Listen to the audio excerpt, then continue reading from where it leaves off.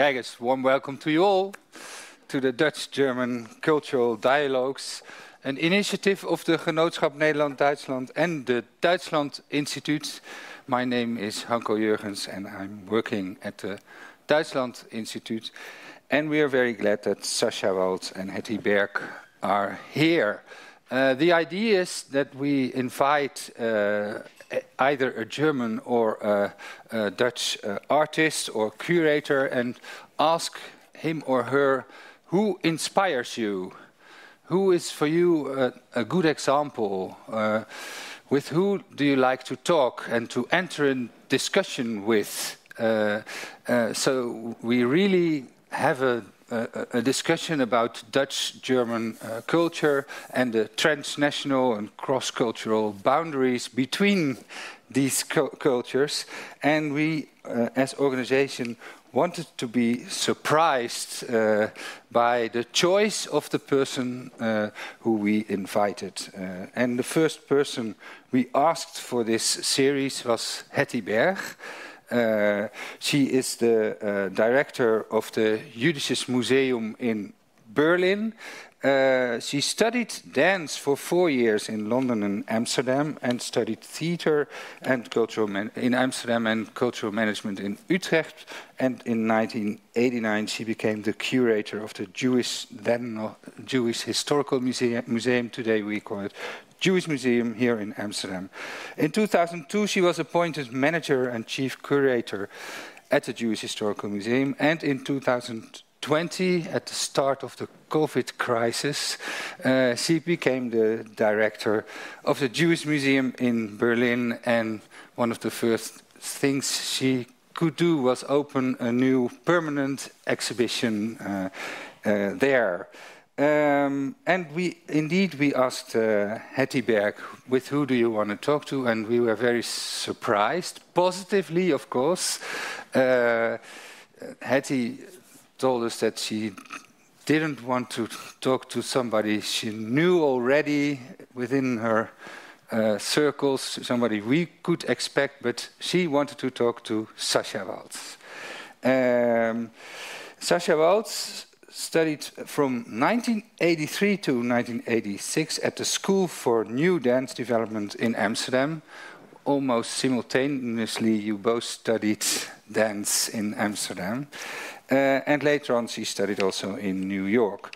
And together with Jochen Sandig in 1993, she founded the company Sasha Waltz and Guests with uh, a, a, a very busy program, uh, more than 300 artists and ensembles from the field of architecture, visual arts, choreography, film, design, literature, fashion and music from uh, more than 30 countries have collaborated as guests on over 80 productions uh, and uh, dialogues, projects and films. And uh, the company stages 12 active pieces uh, per year and about 70 performances each year. Uh, and she's a very well-known uh, German choreographer. Uh, and the first question is, of course, to Hetty. Why did you want to talk to Sasha Waltz? Um, first of all, I love dance and I love contemporary dance and I'm extremely impressed uh, by uh, the by Sasha Waltz and her choreography choreographies and her company, although I haven't seen that many works live. But um, and um, I wanted to uh, invite somebody who is not from the scene that I am in in Germany. So I could have taken a museum colleague, but most of those people I know already, or I could have taken somebody from the Jewish scene and a Jewish author.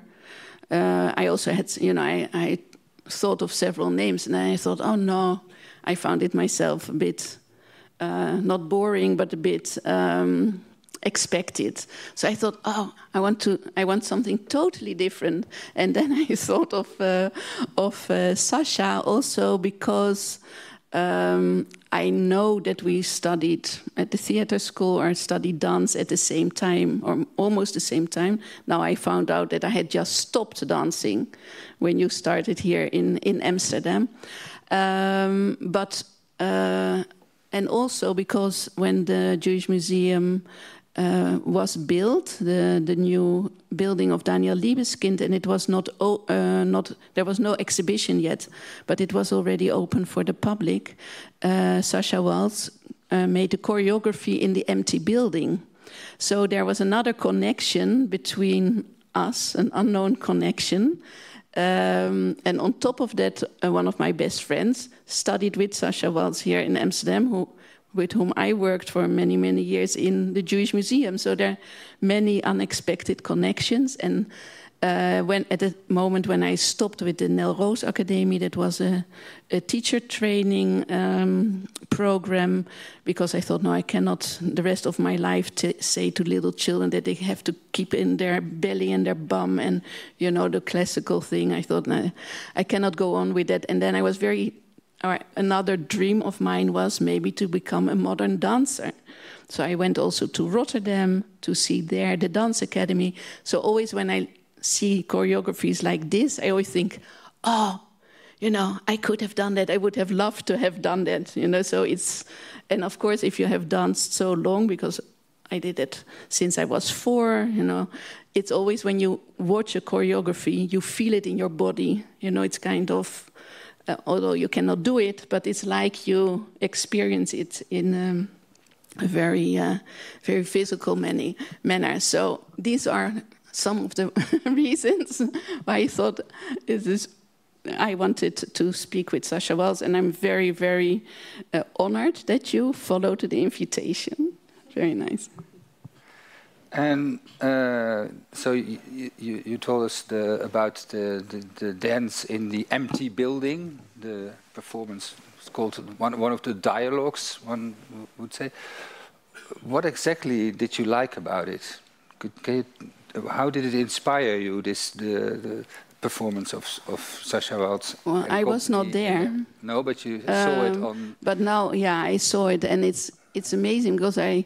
Um, and what is also interesting, I think it's one of the first times that you made a choreography in an arch in an, in architecture, and that really became a kind of signature of yours. Eh, I mean, I've seen others uh, amazing uh, where buildings are being um, ingewijd. I don't know how you say that by a choreography, uh, but it was so interesting because I have never seen the museum building totally empty, and I I thought oh, this is there and there. But then I said, oh no, oh, no it's not. You know, it's it's it's a very um, a very special. Um, very loaded building with all the symbolism of the of of the German Jewish history that uh, that has vanished, or German Jewish culture that has vanished uh, because of the Shoah, because of the Holocaust, and that is all very imbued in the architecture, and also anyhow German Jewish history. This is what Libeskind tried to do, and yeah, it's just very special to see that then again interpreted uh, by by moving bodies and by a choreography. Did it one in one way or the other inspire you in the museum as a director as well, or is that a, goes that a little bit too far to say that? Well, when when they were changing the when the museum was closed and the whole exhibition was redone, at a certain point the exits were also empty and the vitrines, and then I was thinking about you know these people within the vitrines that had been dancing there, which is of course very tempting to, uh, um, yeah. So, Sasha, you, uh, it is one of your, it is your first dialogue, I think, if I understand it well, and uh, a lot of dialogues followed. For example, in the Elbphilharmonie, uh, Neue Museum, uh, there are many places where you made such a choreography in a in an empty building. Uh, could you say something about uh, the performance in this building of Daniel Libeskind? Yeah.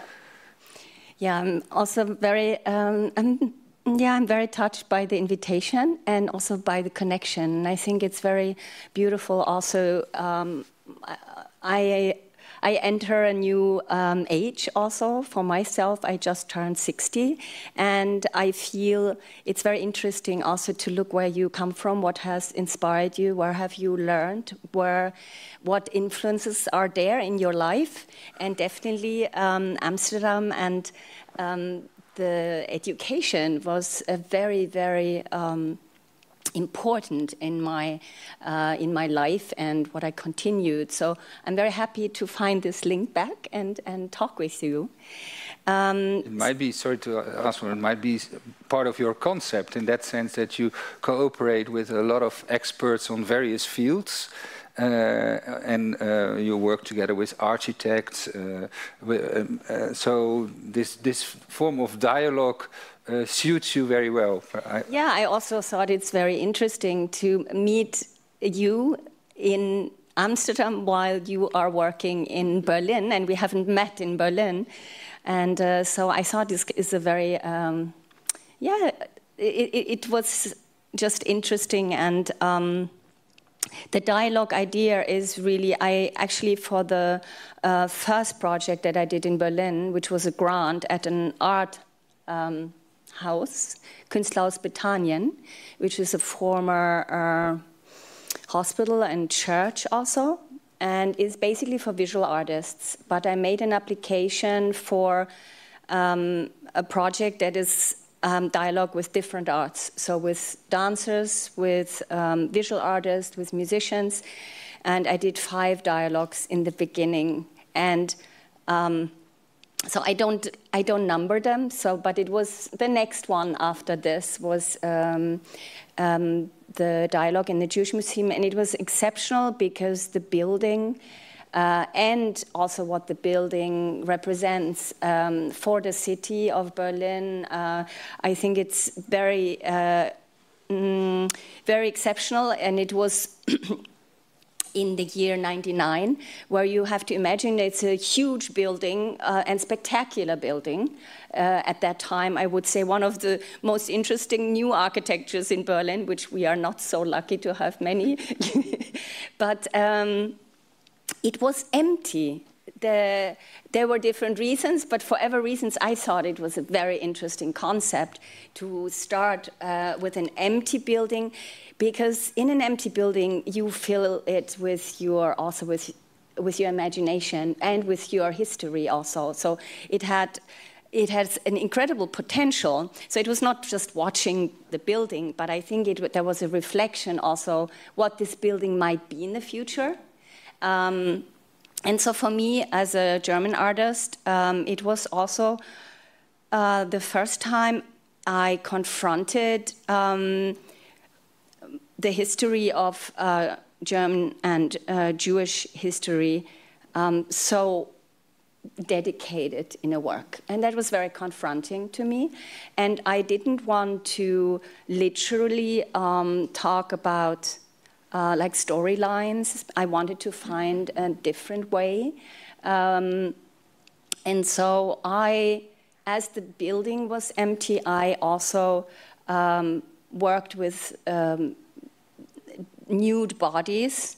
Um, and um, one of the crucial idea, which I find very fascinating, I have not seen it in any other building uh, or museum, is the idea of a void in the center of the, I don't know if we can say center, but very uh, central, there is a big void that connects from the bottom to the ceiling. And um, this is like commemorating the big void that was, um, uh, that was created, um, and uh, to memorize it with nothingness, which I think this was such an incredible, strong statement. And um, there is also a Holocaust tower. When we um, went through the whole building, I left that because that was for me like untouchable. But the void was, um, though, a place where I uh, also wanted to confront myself. And so basically, we did a parkour through the whole building and trying to find also some sort of um, physical, tangible, feelable, vis visceral answer to the horror. but at the same time also give space for people to experience it. Um, so uh, it was a very special, for me, very special uh, encounter. And um, I continued, this was actually a research. And then from this uh, experience, I went, uh, because I was appointed um, director, co-director with uh, three other artists at the Schaubühne am Lehniner Platz. And um, this was the, mm, the step before the creation, which was called Körper, then body. And many issues that, many questions that I had to ask myself in the museum then also uh, entered uh, into the, this project that was then uh, premiered in uh, January 2000. Mm -hmm.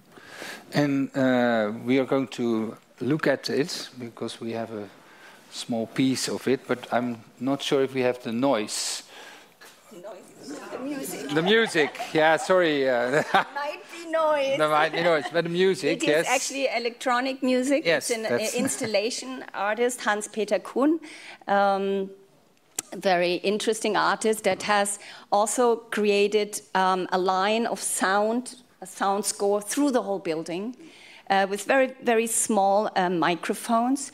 And um, there is also one scene, there was one scene with a drum, but I think it's not in this excerpt, I think. That's the percussion. You hear it.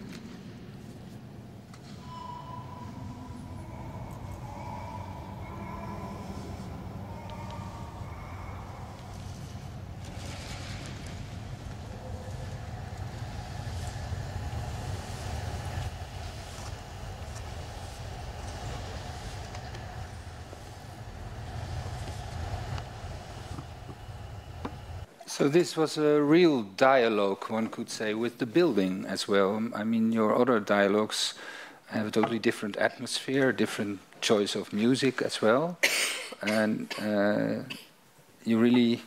Uh, this, it's also very sober, uh, and that that was. It was there also public. Yes, uh, you saw. I think one time. Um, yeah. Um. It was just for very few people could attend it. Huh? There were just very few people that were able to attend, and they were following, I think, through the building. Um, yes. No, sorry. I heard something. Yes, I heard something. Yeah. ah, great.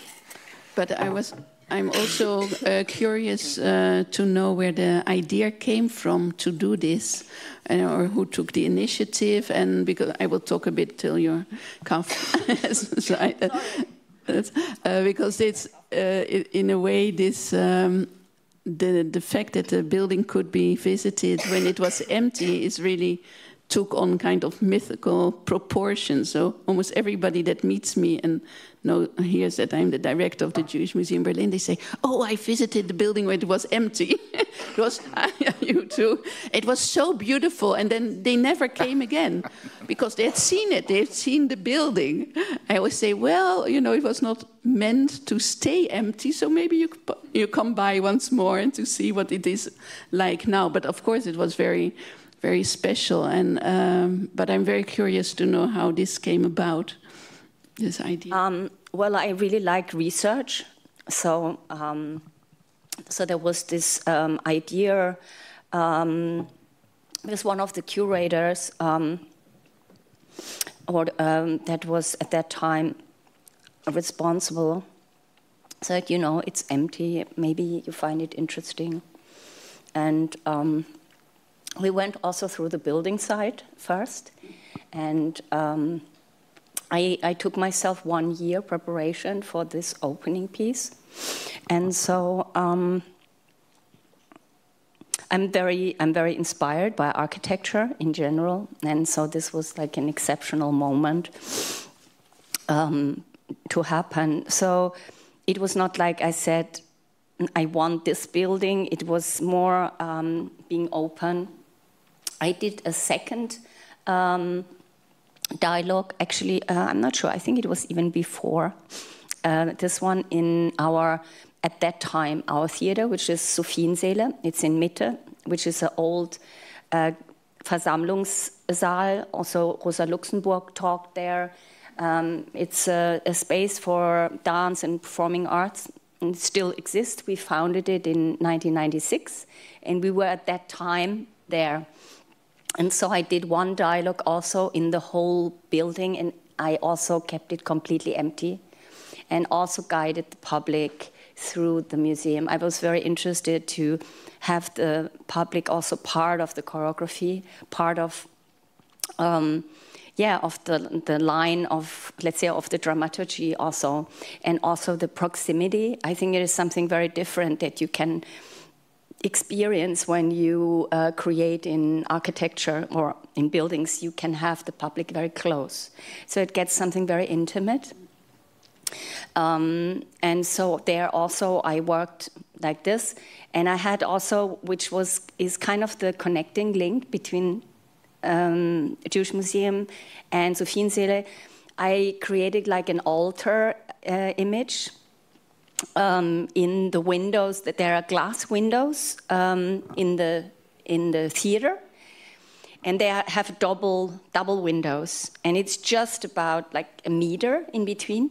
So i i filled it with um, also with bodies. So it resembled like uh, ancient uh, altar paintings somehow. Because they were kind of also like in in triptych triptych uh, relationship and so when I came to the Jewish Museum, I was also very curious about the vitrines, um, where we knew there will be objects depicted, um, but I decided to depict to depict the bodies. You know, that bodies become the object, and um, so that was a very um, yeah, and and actually, this line I continued, and also in Körper, it's um, like a very long scene, which is the vitrine in the in the um, wall, part of the wall, and also the set is very inspired by um, by Jewish Museum. It's not white; it's a black triangle, huge nine meter high wall. But it's very much inspired uh, by this, and you saw this also because the openings and the angles are very um, mm, specific because a lot of things are on triangle, um, these long lines that are crossing. Um, I just wanted to maybe explain one thing to the video. You saw the man um, in the void, and the content actually that was that I was busy with is um, the resonance because it's a uh, you, you even heard there the sound quite well, I think. And these are the is the sound of his body. It's the sound of his bones, because the bo bone is hollow and it resonates. And so for me, this was somehow one of the ways to translate also the horror or like our yeah also the also the fragility of the body, its endlessness, and you know all the associations that go about is to make the, the, the music actually the sound from the body, the flesh and the bones. Can I react to that because it was very sweet that the librarian who brought me the DVD, he said he had been there uh, during the performance, and he said I felt so bad for the dancers because this concrete was so cold and their bodies and it was so hard and it must have hurt, etc. So he really still now had this memory of being there and exactly this uh, this aspect. And what I also find um, what is interesting in the building that even uh, without the dancers. Um, because the, the floors are uneven and all the lines are are not perpendicular. So if you walk there, you know you it it slants and you have to walk a bit up, and uh, you're really put off your balance, you put off balance, and people get it disoriented. And also in the there's a part it is called uh, the Garden of Exile where it's extreme, and you really you know you feel very sometimes dizzy etc so also the architecture uh, with the architecture daniel libeskind really wanted the visitor to have a physical experience which is in that part where you what we saw here uh, is also very present till today and is it does this building uh, uh fit to the purpose of the museum in that sense that the, that the museum uh, wants to show Jewish culture and not only the horrors where you talked of. Well, this is um, this is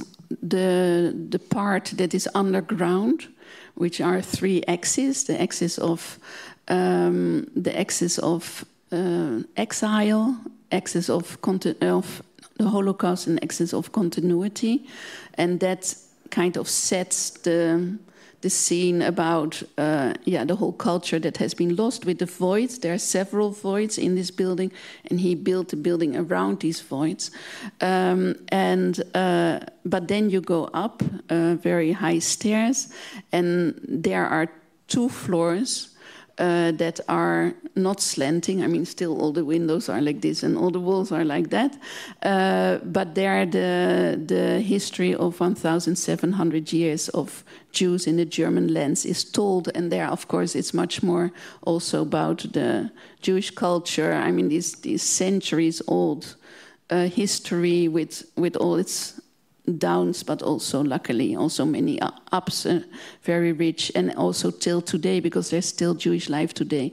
But the fact, and I also I do have sometimes some um, yeah problems with that, is that the visitor starts down there, and this is also what most visitors know when they come: is the is the Holocaust, is the murdered Jews, and they're kind of uh, this this idea is kind of confirmed there. And I always hope, because there's so much to see there already the garden and the Holocaust Tower. I think sometimes people also leave after that because there's also a lot of material in the vitrines, all pertaining to the Holocaust. So they never get up there where we tell about Jewish life. So it's, and of course, because it's such a remarkable and unusual architecture with all the, there are hardly any straight um, uh, angles, etc. It's also quite difficult to uh, to build exhibitions in there, but there you can see in 2020 we opened a new core exhibition. So the one of, of 2001 was taken away in 2017, and in 2020 a new one was um, was built. And there you can see that in those 20 years that the museum existed, the curators really got to know the building and also learned to deal with all these angles, etc. So it is now uh, it's much more um, um, een samenspel uh, of the architecture and uh, the design and the exhibition architecture uh, than it was before. There, they just tried to hide all these funny windows, you know, with very big screen prints, etc. And now the the designers did a very good job by really, yeah, playing with the architecture. Uh, so I think it's also experience. And would it make sense to make a new performance with the collection for you, or in the sense that you have the whole Jewish history uh, with it, or not? For me? For you, for, for you. I mean, you made a performance in the empty building, but the building is now filled with uh, a lot more stories. Mm. Actually, I have um, I have something in mind that for for quite a long time because I work since many years. Uh, we are now in the actually in the 30th year of the company.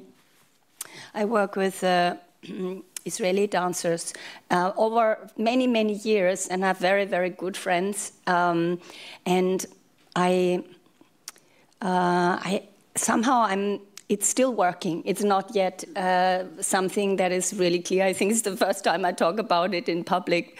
Um, but I would really like to do something more in the city about um, where spaces were that had importance and that are not so visual in our um, daily life. I mean, we have the Stolpersteine, as, which is a very amazing uh, memory and also artists that created that, but uh, still you have the, the name and um, usually the, the birth and death. But uh, there are many buildings also, and somehow I'm dreaming more of something and um, like a tour, you know, where and also to work. Um, with, especially, in, I, I, work with an international group of dancers, but maybe to do something really specifically in an exchange, um, also from their perspective, because most of the dancers I encountered, they're like third generation, so they emigrated, uh, grew up in Israel, and then um, came back, and a lot of them stayed in uh, in Europe or in, in, Berlin also. And uh, so, what, what can that? What does that mean? And uh, what what lines can you draw there? What stories? And for me, I think it would be very I always like also to work with artists and tell their story, to be very close, very personal somehow. Then now to, um, you know what I mean? Uh, for me, it would be very, um, there would be already everything inside their story somehow. And um, this is something that I have in me that I want to do sometime. And is it part of your, yeah, you can work together. yeah. Is it part of your uh, new concept of travelogues? This that you travel through Berlin? Mm, yeah, I mean some dance along the traces of history, or. Yeah. Well, uh, I, I, I, do sometimes. Uh, I just did also um, like a parkour through a city uh, in uh, in Marl. I did it um, with my last piece um, that was actually uh, on eight stations that are architectural important. because some of the, um, like Hans Scharoun, for example, he, he built a school there and uh, with also with a, a, concert hall, and that was almost at the same time where he uh, built the Philharmonie in, in Berlin. They're kind of related. It's a smaller version, and they're like icons of. Um, of uh, architecture, actually also Dutch architects, that after World War II came there to build a new democratic city.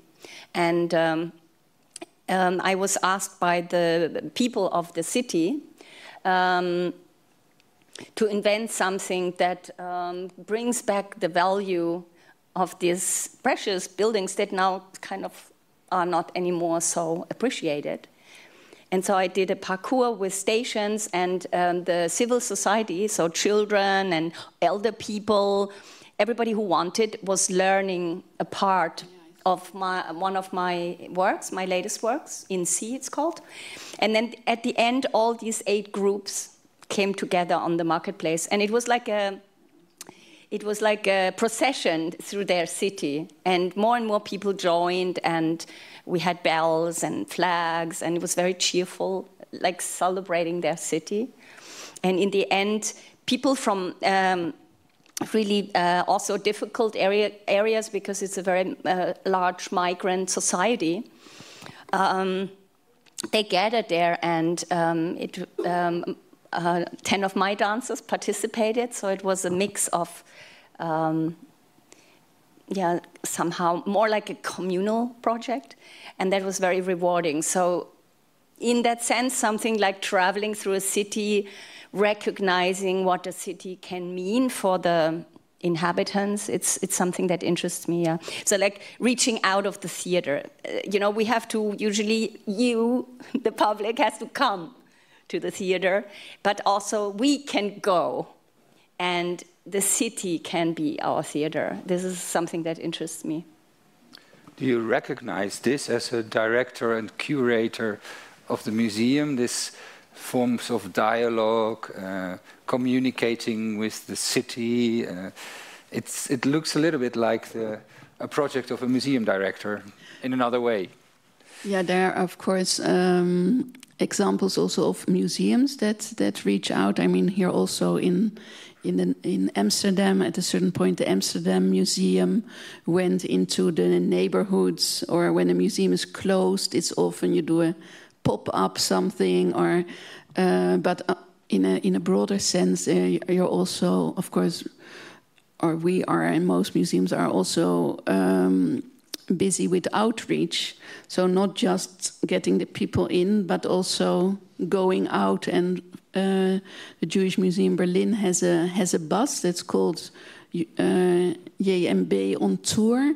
Uh, because Germany is so big, it's not like the Netherlands. You can get anywhere in two hours by train. Uh, but um, Germany is so big that the school classes that come are always just in you know, from the Länder, van de landen in de buurt van Berlijn en niet uh, niet ver weg. Dus dan gaat het museum in met die bus met, uh, met tourguides en met een mobiele tentoonstelling. It's okay, it's okay. No, no problem. Oh, and I speak Dutch. Yeah, I have this all the time when I'm in Germany. I never know anymore what I'm speaking because I speak German there and then I speak to somebody English and then I continue in English. Sorry. This is this happens all the time. Um, yeah, and so with this mobile exhibition, interactive exhibition, uh, we go to schools like really far away from Berlin. So that's an that's then more uh, national. Or, uh, but we also opened into 21 a very beautiful children's museum, a children's world, ANOHA it's called, and there we also go with uh, with a kind of bakfiets into the into the neighborhoods in Berlin to tell the story to, to tell a story that is told there about the Ark of Noah, but also to to bring uh, the the children's museum into the uh, into the neighborhoods, and we also go to uh, to um, uh, creches, kindergartens, uh, because it's from 3 till 10, also to the basisschool, primary school. Um, and there's a lot of community work also being done. So we have a lot of uh, what we call out and in reach uh, because it's important to try to reach people that maybe don't come uh, automatically or. Okay. Um, by the way, if you want to ask questions, this is a dialogue, so you're open to ask questions and interfere in the discussion. Um, it, is, it is a dialogue on Dutch and German uh, culture and the exchanges. Uh, so that is a very interesting aspect uh, as well, because you both uh, traveled uh, to the other country, so to speak. You started to study here, and uh, could you tell something uh, about the, the, the, dance scene, the climate here in the Netherlands? Is it was it and is it different than in Germany? Well, it's uh, for at the moment I, I cannot really say it so much because I'm not uh, now so regularly um, here.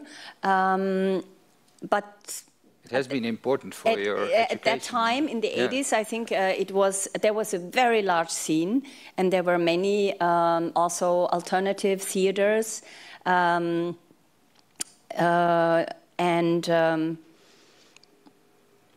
I think there was a, a very creative climate. Uh, I, I, remember mm, the school. Mm, I was in the modern department, the school for um, modern dance, so School for New Dance Development. It was called later. At our, in the beginning, was called even just Modern Dance Department. Um, this was exceptional, I would say, in Europe because um, it was really experimental. Um, and uh, in Germany existed not such a um, education at all. You could either do classical dance um, or or go to Folkwang, which was more in the, um, well, Pina Bausch was in Wuppertal, and there was more the lineage of the um, modern dance, expressionistic dance, and also classical. So, and the department here was in that way so open and brought so many uh, young artists um, that from the states actually so from new york but also from the west coast that were doing like everything post cunningham uh, so the whole um, Judson church um, people um, Simone Forti had at that time a big exhibition at the Stedelijk Museum, for example, and then taught also at the school, and some students actually were even performing. Um, so there were really important artists, um, also musicians. Uh, so it really opened also for contemporary music. Pauline Oliveros was, for example, um, also teaching there. So um, for me, it was a very clear choice because I wanted to study that kind of dance. I didn't want to become a classical dancer. I really was looking for that information. And in Europe, there was only one other school in England. Um, and so it, it felt like an island, very special creative island, uh, with main, really many opportunities of exceptional artists uh, that we had workshops with. You lived here for four years, I think. Yeah. And you didn't want to stay. You wanted to go back to Berlin. No, no. Okay. I, am I'm born in south of Germany. I didn't want to yeah. go back uh, to Germany. Actually, I didn't think I would go back to um, Germany at that moment. I wanted to go to the States, and from here I went to New York. Yeah. So. And yeah, but uh, I, I think the. Um, I think it had also, there were many young groups, there were, uh, were a lot of independent um, dance makers. Um, I think there was also quite a good subvention system at that time, I remember. And we, one could see from the outside that the subvention would go down, and with it, I think also the dance scene declining. So I think there is a relationship between funding and uh, creating. Uh, uh, a dance scene. At that moment, um, there was still the wall was still up in in Berlin, so I didn't uh, want to go back or, didn't want to move there. I went after the wall came down because I thought it was not for the dance, because there was hardly anything, but for more for being there and this historical moment and seeing these opportunities. Um, and many artists um, did that also. So it was a very um, vibrant um, climate. But the dance scene then was very minimal, and now I must say it's very, very vivid um, in, in Berlin. Many people from all over the world are gathering, and there are many studios and a lot of exploration. And finally, there's also an education, kind of experimental education. Yeah. Yeah, from the Dutch perspective, it, it looks like uh, Valhalla in the sense that you have, I don't know how many, but uh, man, uh, many permanent uh, employees uh, compared to the Dutch situation where uh, yeah, all the, many artists have flexible jobs, uh, and for example, in the Corona period, that was re a real problem uh, because they didn't get compensation. So the, the, the, cultural climate in Berlin seems to be very well well developed thanks to the subvention system or I, I think actually the the possibility after the wall came down was to have very cheap housing mm -hmm. um, have studios uh, very cheap ateliers and, and uh, possibility to work that gave many people the opportunity so for example we founded Sophiensæle in 1996 which was empty, and we we developed it and created a theater. So there were many initiatives, and uh, I think the subvention also developed, and I think it's not so bad. I would say I think there can be it can always be better if we compare it to other subventions because the cultural factor is the almost I think the second largest um, uh, of uh, actually. Um, of people working. You know, we, we, we have to remember that. And we always think of ourselves as artists, you know, we are like, you know, kind of a minority or something. No, we, it's not. And, um, but the subvention is there. Okay, I, from my side, I can say it's, it's good. I'm lucky after 30 years, I have a stable uh, funding. Um, I have eight permanent dancers and I, I have a, a structure but I don't have a, um, a space where I can, like a theater where I constantly show my work. So this is still a problem. But what I wanted to say, going back to Amsterdam, I still, the SNDO has also developed, and um, it is still a very exceptional education. And many great artists have come out of there also. Uh, Jefta van Dinther, for example, and uh, Florentina Holzinger, she's um, She's Austrian, she has studied there, who is also now a young, very experimental artist. So they all studied there. So I think the, the educational system is creating a ground of very fruitful dynamics, but um, then a lot of times all the people leave their, the, the, the place where they study. I don't know how you. Which is a pity, of course. Yeah, yeah. No, part of our lives, not to move, yeah, to get new. Indeed, but for the Netherlands, it's a big pity. For. Hetty, you you have been working, or you worked for, I think, more almost 30 years at the Jewish Historical Museum, and have never been thinking, I suppose, that you would become a director of the Jewish Museum in Berlin. Uh, but you had contacts with uh, the Jewish Museum before. What was your impression? I mean, you visited, you didn't visit the, the empty building, you, you, you said, but uh, what were the big differences between Amsterdam and Berlin? Yeah, there were always many contacts, not just with the Jewish Museum Berlin, but with basically all Jewish museums in Europe. There's also kind of association where we see each other like once a year with a conference, and so there are many contacts. There are also exhibitions that are being uh, created together, or we take an exhibition from one of the others, or it, we send it. So there's always a lot of. Uh, uh, but for me, in the museum in in Berlin, I mean, there were all, also an exhibition that I made once. Went there and I visited several times, of course.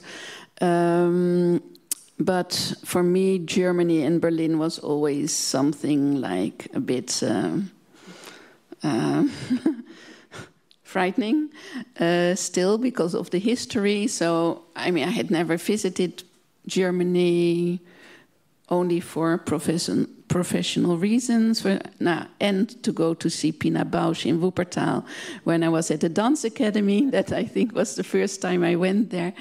Um, and um, I was also not so. I mean, I was, very acquainted with the museum, but not so much with the cultural scene in Germany. But what helped is that um, my partner, uh, photographer Frédéric Brenner, he was at the Wissenschaftskolleg in 2016-17 for one year, and then I also joined him for six months. And then I lived in Berlin, and I got to know um, yeah, the Berlin and many many actors in the Jewish scene, and uh, so it was a kind of introduction to Berlin. But then often people ask me, you know, because I was going there for six months, they said, "Oh, don't you like Berlin? Wouldn't you like to live there?" And I said, "Never in my life. I would never want to live there. I mean, I liked it for a few months, but no, I don't want to live there." So it's pretty funny that I'm now living there. uh, and that I got this job. Um, but it's it's very different. I mean, compared Which to um, as a society, I find it much more formal uh, than than in the Netherlands, especially within a, within institutions uh, working relations uh, tend to be much more formal, and that's something that I've been trying, and I think I succeeded to change in the Jewish Museum. I think in cultural institutions is already less than in in other institutions, but um, and I like to to work like uh, as they say in German of Augenhöhe, so kind of more. Um, yeah, with more equality, not because I'm the director, you know, I know how everything should be. No, I mean, I need the team uh, and I need the people. They have the expertise, and you know, we have it's it's uh, it's also teamwork. So I think less top down. I think that's also very Dutch, um, and um, it's also more bureaucratic but it's also because the Jewish Museum Berlin is a national museum and it's funded by the federal state and the Jewish Museum here in Amsterdam is a is a um, private foundation that is uh, that gets money from the government, but it has its own board, etc. And I I uh, am accountable straight to the Minister of Culture. So it's a very different, and you have you have the ministry, you have all the um, yeah, it, it, it's very different, but uh, it's a wonderful place, and I enjoy it very much. And the cultural climate in, in Berlin, is it possible to create new spaces, a Jewish cultural quarter in Berlin? Well, we have it. We, in a way, we have that because it's um, there is the the old building, uh, Kollegienhaus, the Baroque building with the extension of Daniel Libeskind, but across the road there's the former flower wholesale market, where there's a, an academy in it, a library, archives, seminar rooms, and now also this ANOHA. So it's already like a lot of buildings and space and different. Um, um, different um, accents that are being put in those different uh, uh, buildings. Um, but what is, of course, I mean, compared, I, may, I know I've worked here in the Jewish Museum for a very long time. We never had any money to do a project. So before you could start anything, you had to do a lot of fundraising.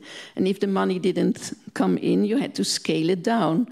And there we have just a fantastic budget from the government. Of course, we have we do fundraising and we have we have several, you know, quite a lot of money still on top of it that we fundraise for extra projects.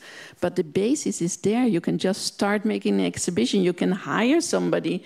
I mean, this was in Amsterdam. It's so different. So I feel that I'm in such a luxurious position. I also always tell my colleagues from, you know, Jewish museums in other countries that I know what a struggle it is just to get your you know, your budget uh, together to to do your normal programming. Uh, so in that sense, I feel very privileged, and that gives, of course, a lot of freedom because you have time for other things than chasing the donors all the time. Yeah. It seems to me a more political position in Berlin, in the sense that uh, a, a, Jewish museum in Berlin, also in this political climate with the AfD, uh, I think is, uh, it is it is really an important building in in uh, in, in, Germany, and in, and so your position is also uh, perhaps even more important. It's also more to the east, more close to Poland and Hungary, for example. Uh, do you feel this pressure as well, or not? Um, well, I don't really feel it as a pressure, more like a task. Yeah.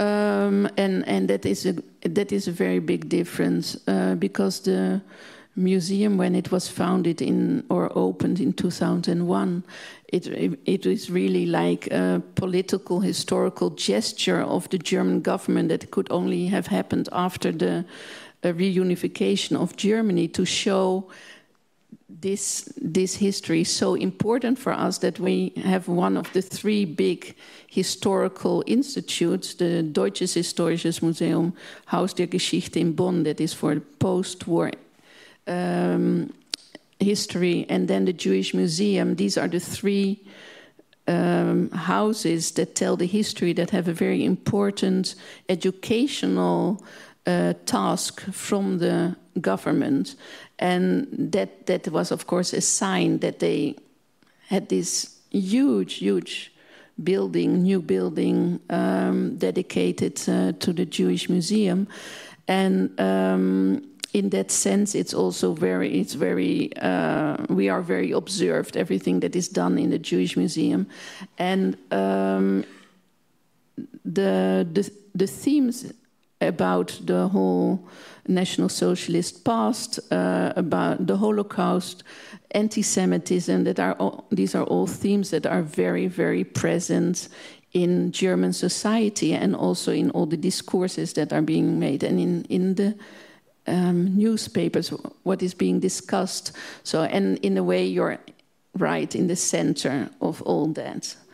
Uh, but I see it more as my. Um, I try always to keep out of the not to have be active in these discussions, but by um, um, contributing to these discussions in the programming that we do, not because Hetty Berg has to say something in the newspaper, because you know my opinion, I think that's not so interesting. I think it's much more interesting the work that we do in the museum and how our programming reacts to these very important issues that are played out in a very, very deep way in Germany today. Do you also have some, uh, in the same way, a, a, political message perhaps in your work, or? I, I think um, I first of all, I, I do think that our art uh, is already political, and if you work with the body, also is um, also um, you cannot avoid to um, to talk about many different um, issues. So uh, it's over the years I have more like focused on certain questions that interest me, but um, lately, let's say maybe middle, like maybe 2015, maybe more strongly um, through the big refugee crisis that hit Germany. Um, I really felt the need also as an artist to be more more actively involved to share also our artistic strategies and and um, give give away um,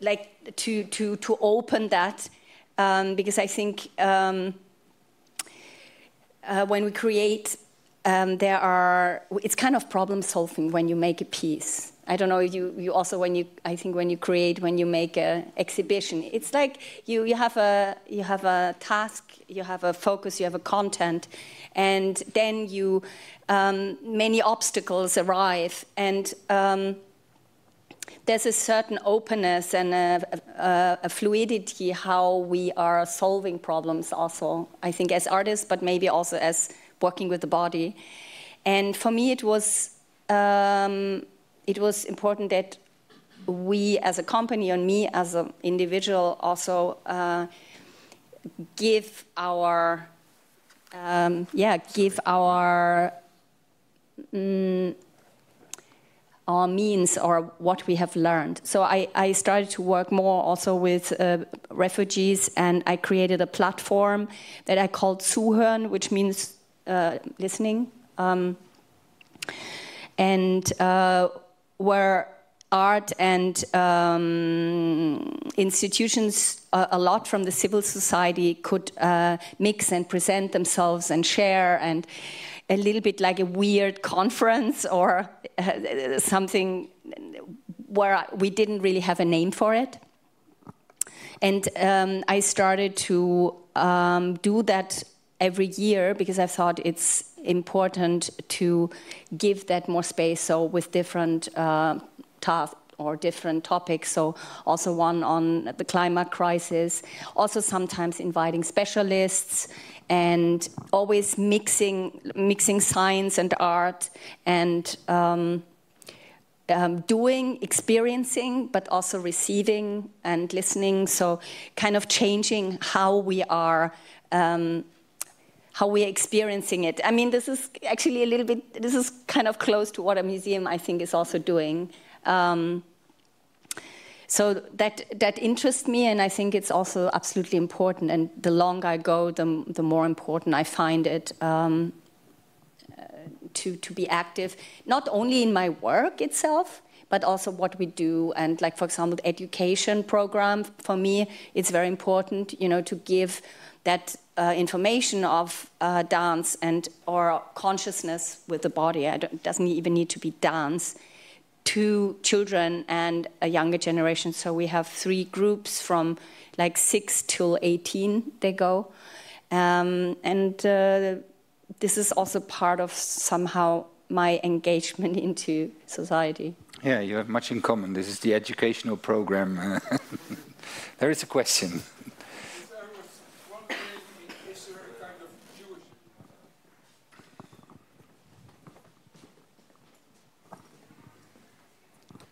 I'm uh, wondering, is there a kind of Jewish community yes, uh, now in Berlin, and do you cooperate with them? Is it part of Jewish life, your museum? Uh, there, there are many Jewish communities in, in Berlin, and also many, many Jews that are not part of the Jewish community. Uh, and as, uh, as uh, Sasha mentioned, like uh, that many people were coming to uh, to Berlin uh, after the the wall came down. There's still many people coming to Berlin. Also, many many Israelis uh, because they say Berlin is a cheap Tel Aviv.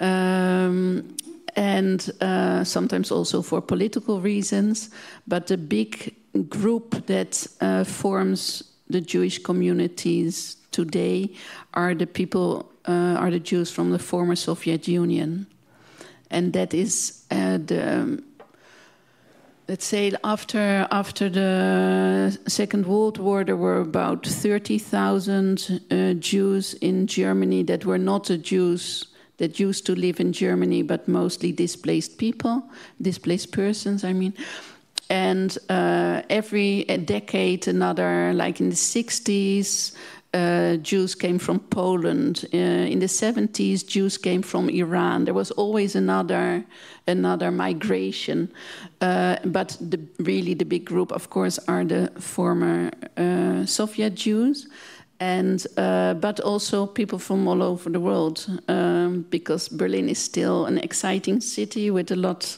going on. But I've also heard that many people now go to Leipzig because Leipzig, Berlin also became uh, many artists Berlin also became expensive, so you cannot afford so easily a place to live. It's certainly not an atelier if you're an artist.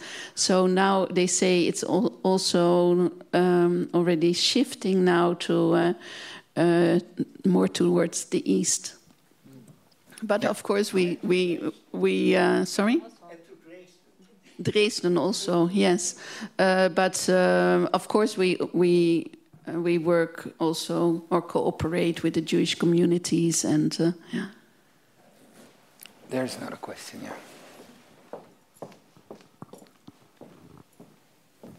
I have a question to Sasha Waltz. Um, you like bodies and you said you the body stores knowledge you said you want to give the knowledge that is in the body and i was wondering about your work with the dancers. If you consider or see the body as actually an archive uh, stored knowledge you said some israeli dancers from the third generation comes.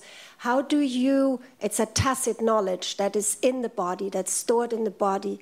And i was wondering how are you working with your dancers to get is this just something you do instinctively is this uh, or is it coming out through the movement or are you also um, talking and discussing this what what is stored in there and how you get this from inside out There is a lot of discussion, actually. There's a lot of talk. Um, so um, I, I, do think that there's a lot of um, memory stored in the body, and um, it depends very much on the content, what we're researching. Um, and I have people from many different um, backgrounds, you know, and they each each of their um, memory and also their approach to communicate to um, i don't know to, to even to approach a problem is so different. Like if i work with a chinese dancer for example and a polish uh, dancer or you know it's very um, it's for me always very interesting how different an answer a physical answer can be. And i really try also to leave it like that. I try not to uh, unify it. For me it's, it's exactly interesting what we can find through this different to, to this diversity. Um, now um, as we created many uh, pieces you know the many pieces are written into the bodies and the body becomes like a, a, an artistic archive also. So um, for sure we have video but it, the body is still the, the most important. So it's very important to give the information from, from the dancer's generation to the next one. This is something that is very important um, because there are so many things you can not really exactly explain and you really need to to be it and the closer you are the more you see it the more you are alive with that person that does it um, the deeper or the closer you get to what it was. But if you uh, think about, like, let's say, traumas or, or, something like this, I haven't worked on that, um, so I don't know about this. Uh, I have not um, especially uh, focused on this. Yes.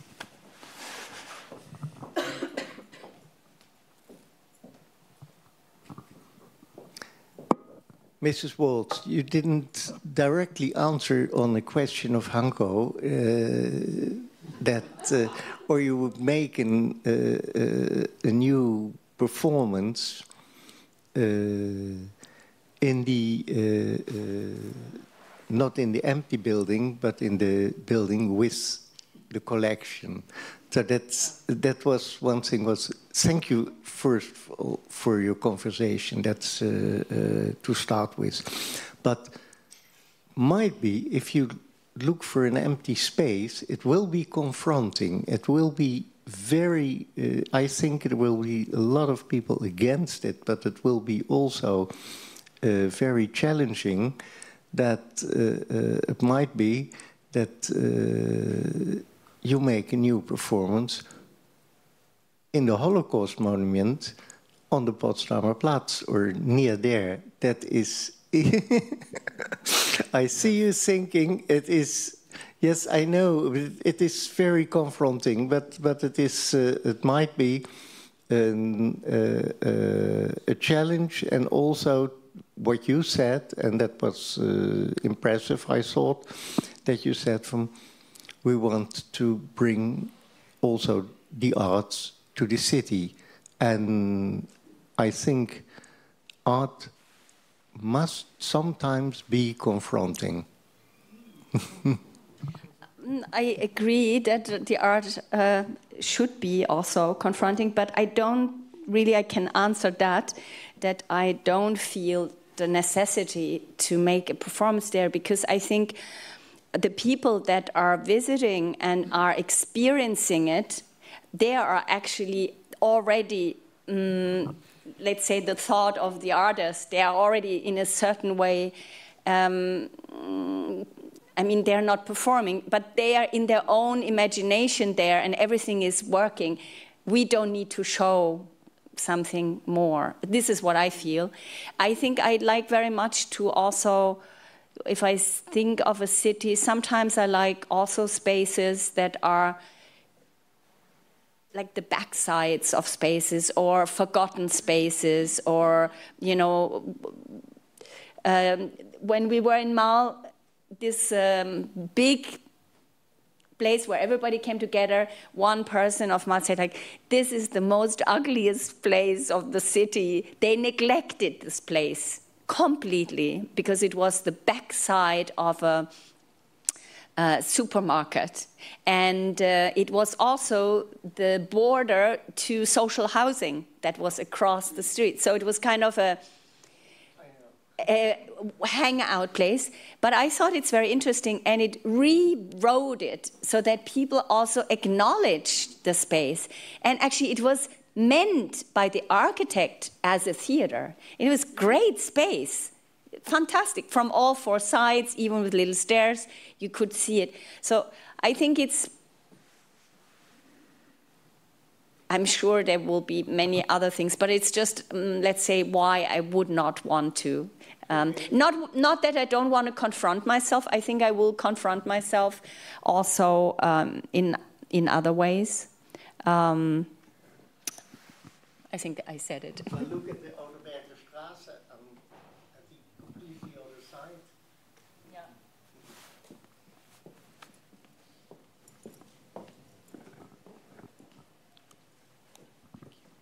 Uh, I've got another question. I don't know whether it's more for uh, Hetty Berg or Sasha Waltz. I'm not quite sure, but uh, we will see. Uh, what I was thinking about, I'm standing in front of the class as a teacher, as a, a German German teacher here in Amsterdam. And what I see, not only in front of um, Dutch classes with Dutch pupils, but also from my German friends who are standing in front, who are teaching in Germany, that uh, the question is uh, of remembrance. Uh, on the one hand, I see, well, what I ask myself is how can we keep remembrance vivid, kind of making it fluid, kind of, to, to keep it seem and appear relevant for the day of today? And how can we on the other hand prevent of making it well it, uh, for example the shoah the ultimate zivilisationsbruch uh, the ultimate uh, breakup with civilization. How can we on the other hand prevent of saying well it was some event somewhere and it's it's long time ago? How can we prevent relativizing the holocaust and at the same time contribute of making it fluid vivid and relevant for that time? I hope that this question is kind of clear what I mean because for me it's a very very difficult balance. I've at at my classes. I'm speaking about a, a, um, a, um, um, a version of Todesfuge from Paul Celan, and I try to make close reading very very little steps because it's a foreign language for them.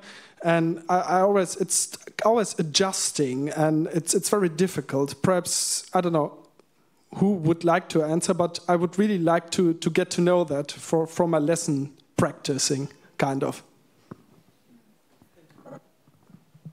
Uh, well, I think this is a, a, question that we all struggle with, and that is very difficult uh, to answer in general. Um, I, I, presume that uh, if you have both Celan and Todesfuge, that you're kind of at uh, in in education um, that is preparing for for university or yeah so that is already certain um, um, for a certain group of pupils so that also all depends who you have in front of you. But I think it's always uh, and then you're you know you're a teacher of German so you're already in this um, but it also has to be taught in, in very different context. And I think what is the uh, what is a challenge to find the hook for those pupils to be able to relate. So that can be um, that they use the digital monument, the Joods monument here, and look what happened in their own street, or that. Um, I'm sure, yeah, many pupils nowadays also ha or have um, experienced themselves certain things or migration, etc. So to always first try to connect to their to their experience before trying to to um, um, you say it vermitteln uh, the um, uh, these uh, difficult contents. But yeah, this is what we try also to do, of course, in in the tours and the educational uh, programs in the museums. And it's it's not uh, it's not easy. I mean, you also have groups that totally. Um, um, um, don't want to hear about it, uh, and then you need other other entrances to to discuss topics. But uh, yeah, I think it's. Uh, uh, is a very important task, but I cannot give you a very clear-cut answer because I don't have it myself. It's all, I mean, it's a search and it, it changes all the time, of course. Okay, if there are no questions anymore, I think we come to a closure. And uh, I hope this was not the, the, first meeting and that it will be the beginning of perhaps an, a, a, friendship or uh, uh in. Not the last meeting. Not the last meeting, yes, sure. sure. yes. And uh, well, uh, I would like to thank you very much for this very open conversation, form of dialogue. Yeah. Sorry? What? Can still see the trailer. Yeah. The you would like to show the trailer. Okay, thank you very much for all your questions. Mm.